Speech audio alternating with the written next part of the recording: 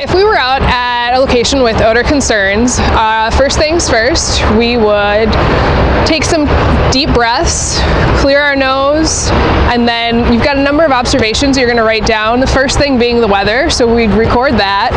Uh, after that, you're going to grab the nasal ranger, and I've got it set at zero, so right now there's nothing. So I'm going to start at 60, which is the highest detection threshold. And if I can smell something at 60, it's a pretty strong odor. Whoever's around here that we can attribute this to is having a really bad day if I can get a 60. So then I'm going to take some deep breaths in and out and make sure that I'm getting enough airflow until I'm confident that either I am detecting something or I'm not detecting something. So.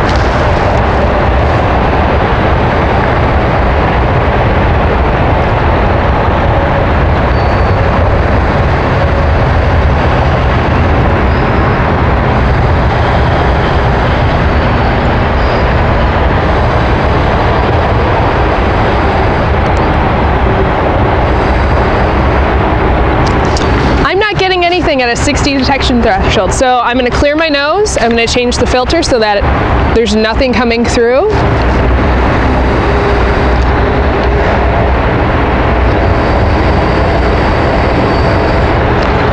And we're going to try again at 30 and see if we can get anything.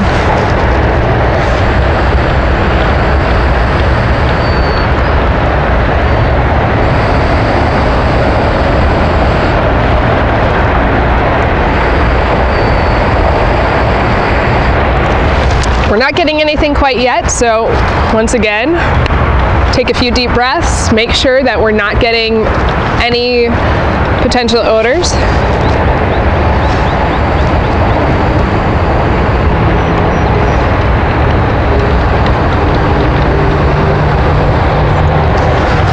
And now we switch down to the 15 detection threshold. Let's see if we can get anything.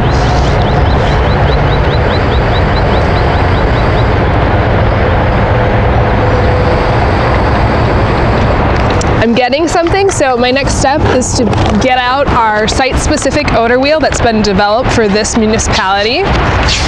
And I'm going to look at all my possible descriptors that we have to select from. As I'm looking at this, I'm going to keep breathing in and out through the nasal ranger to make sure that whatever odor I'm getting, I'm able to describe in a consistent manner.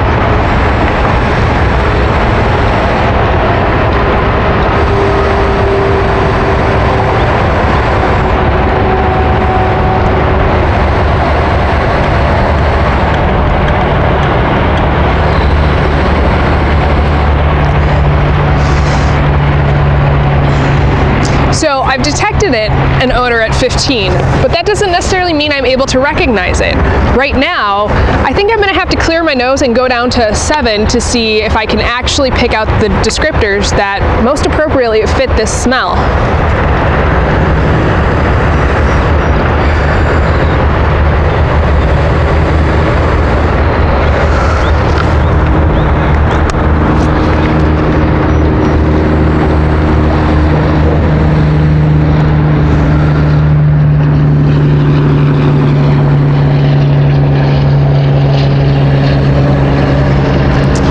So at a seven. I've got some descriptors in mind from my odor wheel. This is what we would call our recognition threshold now. Uh, next thing we would do after recording the various odors is we would measure the wind and see exactly what direction the wind is coming out of and what the wind speed is. Because the wind speed and direction can, can influence and help us determine where, what location within the municipality the odor is coming from, whether it's coming from a specific industry or residential, or maybe it's a naturally occurring odor because there's a body of water nearby, like us here, by a river.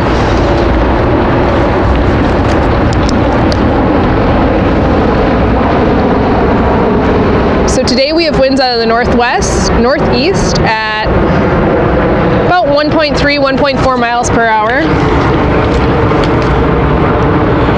It's not raining, it's overcast, the humidity appears to be a bit high. And these are all things that we record when we're determining an odor complaint location.